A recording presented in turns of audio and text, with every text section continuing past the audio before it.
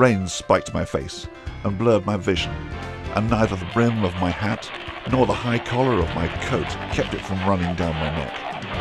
I held on to a rail for dear life as the coach lurched and swayed over the rutted track, and I took no solace that the other nine passengers perched perilously across the roof were just as miserable.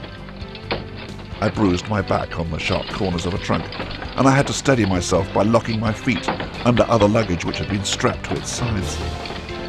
The coach was dreadfully overladen and perilously top heavy. My shoes had been soaked in soggy mud, and I shivered in the dampness.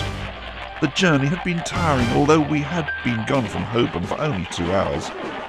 An average of about five miles an hour was to be expected in those conditions, and at least I was not walking to Barnet. Some of the road users stepped aside into the bushes to avoid the mud which splashed around the horses' hoofs from the great wheels. I looked past the driver and saw steam rising from the labouring animals. Their backs were a lustre of sweat and rain, and their odour filled the air. We had not stopped at Whetstone, for the gate had been opened when the keeper heard us coming. Our guard had sounded his distinctive tarantara when three furlongs distant, which gave the gatekeeper at least two minutes to don his cloak. All of us recognised the particular calls of the coaches. The mail coach horned authoritative fanfares, for they had time schedules to uphold. Woe betide their drivers who let a precious minute be lost. We were only riding on a stagecoach which would get to its destination when it could. Water lay in dark pools and puddles, for despite the road having been metalled with blocks some years previously, ruts had been worn through the surface and were full of sludge. We never knew just how deep they were until the wheels sank to their axles. However, the coachman deliberately drove us through the well-worn tracks, for to miss a furrow would have meant that the coach would ride up on one side and probably upturn us. There were ladies trying to maintain some modicum of modesty and bearing beside me. They, likewise, had chosen to pay half fare for the topside ride. Those who could afford to ride inside were being thrown about a claustrophobic cabin we considered ourselves lucky that we were the outsiders. Despite the rain, there was nothing as exhilarating as that kind of journey. Sometimes the coachman would let me take the reins, and that was a treat for all four horses responding to my left hand. My right hand held the whip, and occasionally I used it to spur the charges ahead.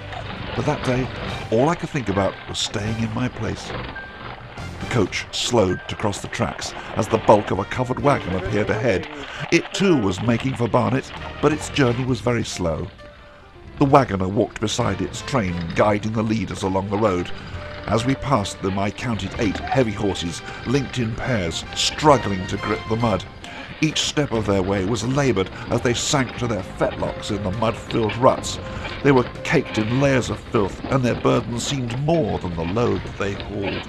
The wagon probably carried a dozen tons, and I wondered what it was that it transported. Could it have been building materials or foodstuffs? I let the thought fade as the coach returned to its original tracks with much rocking and noise. The springs holding the carriage above the axles were leather and steel, so they screeched loudly as they stretched to their limits. When another coach approached from the other direction, we came to a halt, and the coachman exchanged tidings. It was quite four minutes before ours was reminded of his purpose by a shout from within, and we continued. Each of us gave greetings to the passengers on the opposite vehicle, with much hat-touching and waving of hands.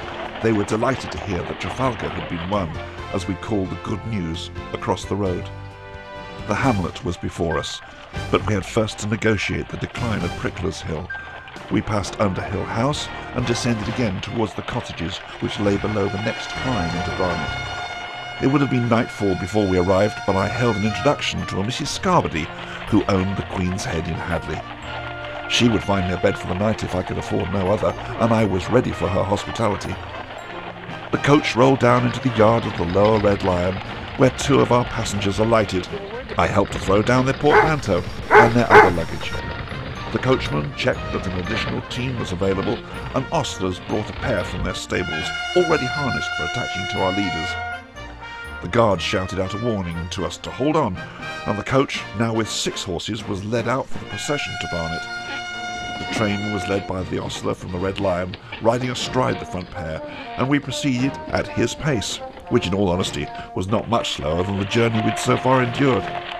On my previous visit, no spare teams had been available, and the most nimble of the passengers had been made to walk the hill. The incline steepened, and the horses strained more than they had in the past ten miles. They'd coped well with the climb to Islington, and had overcome Highgate Hill without flagging. Their passage through Finchley Common had been a drag, and I was full of admiration at this, their final challenge of the day. I wondered just how many teams would be needed to be linked to the wagon, which we'd passed 15 minutes previously.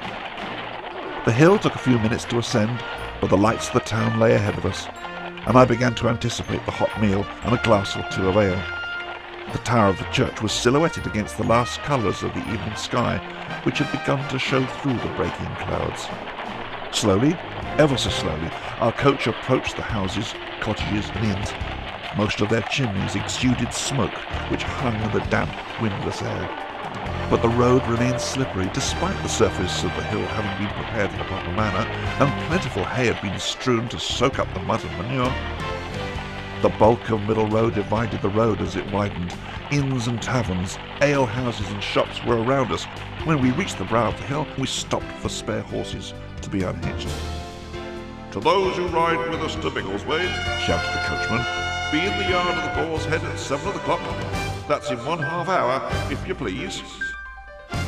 I glanced at the clock on the church and wondered if it chimed the hours. Thankfully, I was not to be continuing my journey until the morrow. We dismounted, and I watched to see where my fellow passengers retired. The gentlemen from within stretched their legs and walked into the King's Head. Moments later, liveried boys ran out to collect their luggage. I nodded farewell to my companions and stepped out into the high street as the coach was led through the arch of the Boar's Head. I looked around to recall my memories, for it had been a while since I had ventured this way on my journey home to the Midlands, and I intended to spend the evening with acquaintances that I had met on an earlier visit.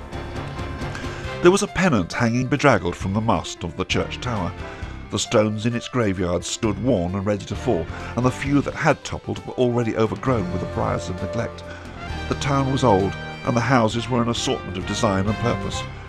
Cooking pots within teased my nose with vapours which escaped through open windows. Alleyways seemed to tunnel themselves between the overhanging timbers of adjacent houses.